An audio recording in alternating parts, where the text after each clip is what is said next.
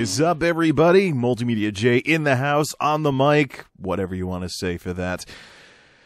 Okay. Well, here I was thinking that my Dysfunctionomy series would begin with a dramatic reading of the blog entry that I wrote on this topic a month. Actually, it was almost two months ago now at this point. End of January. It's almost the end of March now and stuff like that. But, uh, yeah, I'm still thinking of doing a dramatic reading of that audiobook style for this radio style series. But for the time being, a little tidbit, doozy, nugget, whatever you want to call this news article. Uh, yeah, or is it a news article? Is it opinion? No, it's not in the opinion section, but uh, it came up. That's what we're looking at with the picture for this segment here.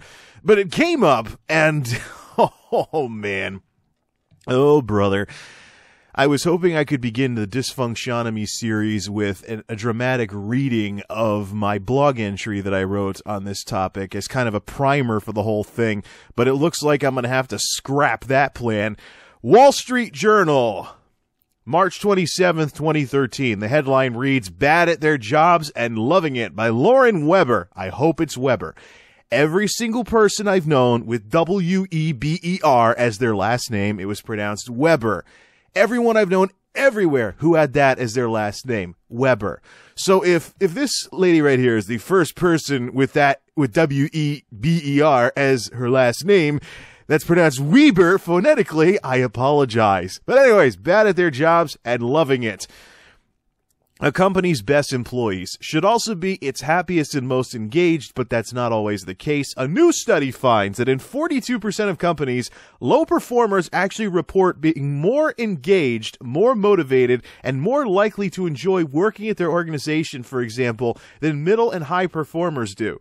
The findings suggest many organizations are not holding employees accountable for their work, allowing the worst workers to skate by, says Mark Murphy, CEO of Leadership IQ, the Atlanta based consulting firm that conducted the survey, etc., etc., etc.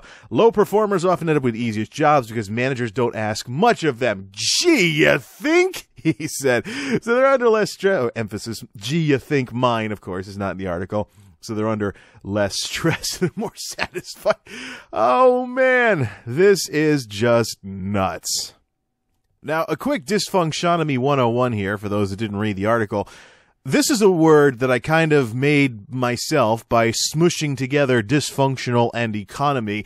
And the concept basically deals with the real problem with jobs in America right now and things like that. Now, this idea of dysfunctionomy attacks two major misconceptions that exist in today's job market. The first being that the economy and the job market are one and the same, and they will both rise and fall at the same time. So as the economy improves, and it's been baby steps, uh, things have been slowly getting better, but we still have a ways to go before we're even close to where we were before the uh, before the financial crisis that started this mess.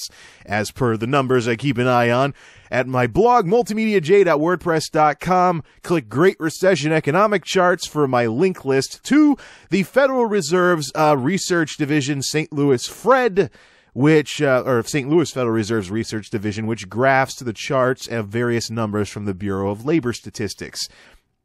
Which was pretty interesting. Uh, last this last go round, when it was in the news that someone at the Federal Reserve was talking all better days are ahead and stuff like that, while these Fred charts from the very same organization somewhere else in the organization told a very different story that the economy is still pretty much spinning its tires. But here's the thing.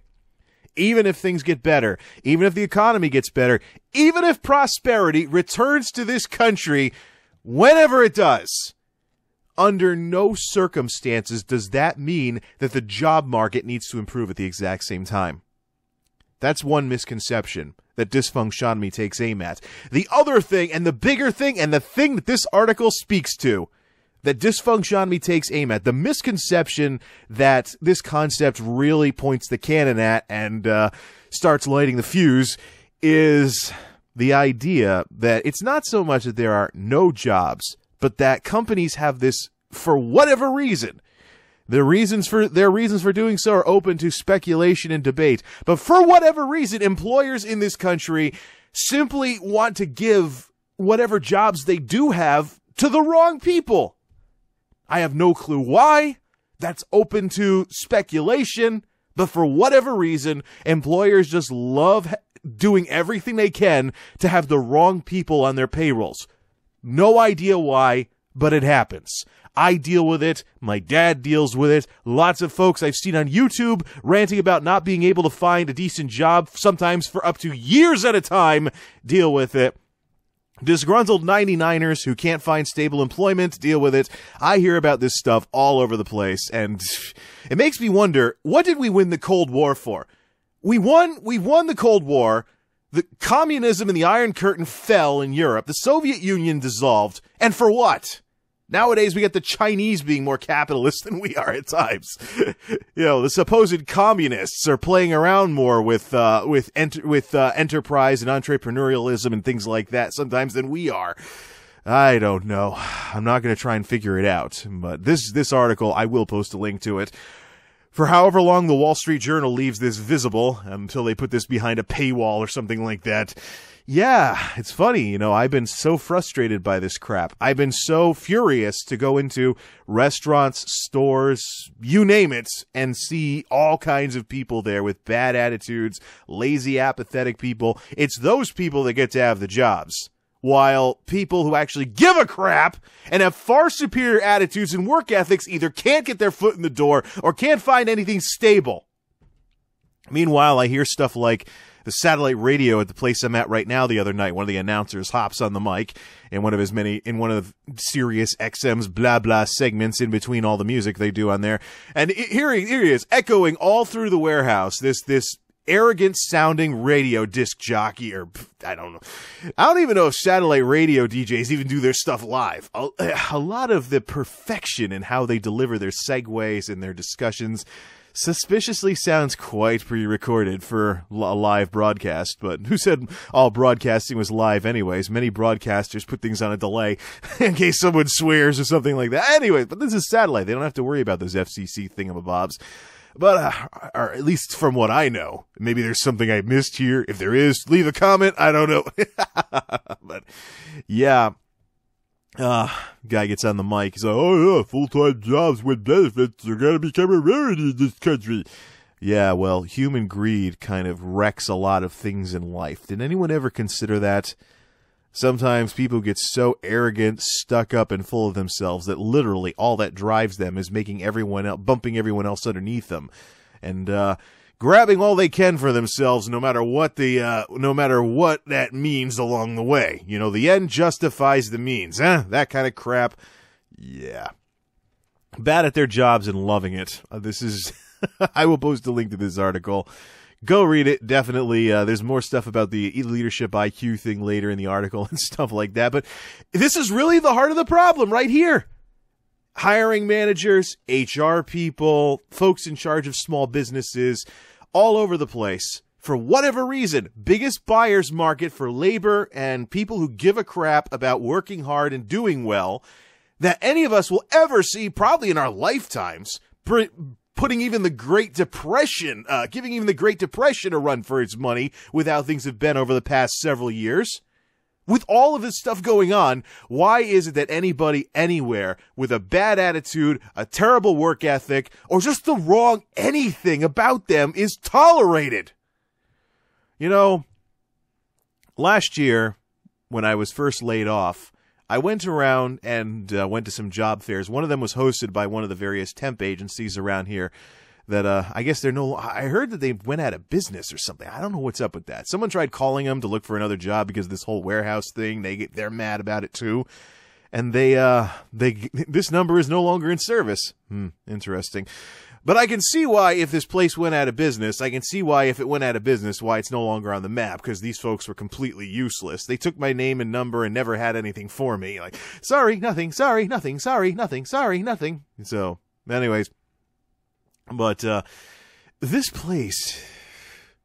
I was talking to the staffing coordinator at the unemployment office and when they had their open house and they signed a bunch of people up for jobs that apparently didn't exist, at least for me, because they never were useful at all. I was talking to this guy, and as I was going in to fill out the application and get myself on record with these people in case they had something that they could send me to, this guy was he was chuckling because he's like, this guy just came through and uh, he wants a job, but he doesn't want to work.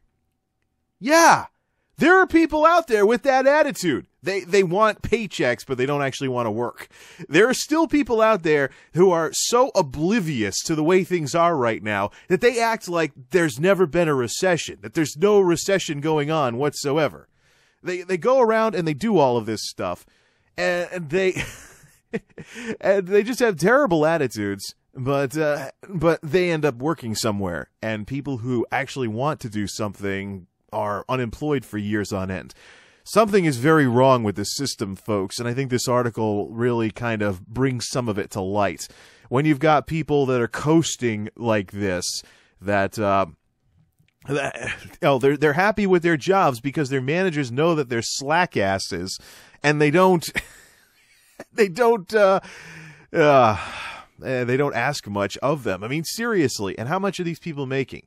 I mean, we live in a country that's so broken money wise these days that you've got college educated baristas, janitors with PhDs, and office assistants doing data entry that needed a bachelor's degree to make $10 an hour.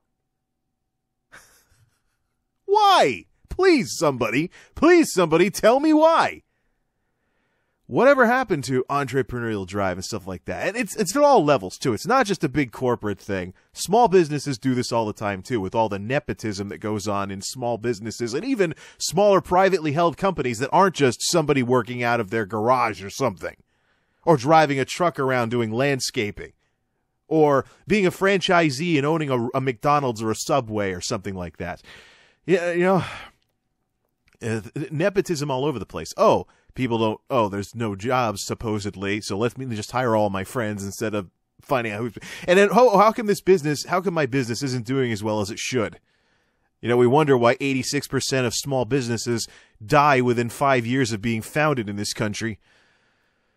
I don't know and I think this should serve as the template slash pattern slash what to expect for future discussions on the very concept of dysfunctionomy, because this is a great example right here. And it's not just something I cooked up on my own just for fun. It's not just something that I that I, I'm just doing just to get views on YouTube or get people all worked up. This is a real problem, and here it is, straight out of the Wall Street Journal, straight out of the mainstream media here, talking about this very problem. Would anybody else like to think that I'm blowing this out of proportion or try to suggest to me that I'm making this problem any bigger than it actually is? Take a look outside your window, folks. It's here. It's happening. It's a problem, and it's going to hold back whatever recovery this country may have in the future. That's enough getting worked up over this stuff for one radio style segment. Check out the article Bad at Their Jobs and Loving It by Lauren Weber. I hope I'm saying that right. Wall Street Journal, WSJ.com. Link will be in the description. Till next time, this is Multimedia J Radio Style. Thanks for listening, and thanks for stopping by. This is Multimedia J signing off.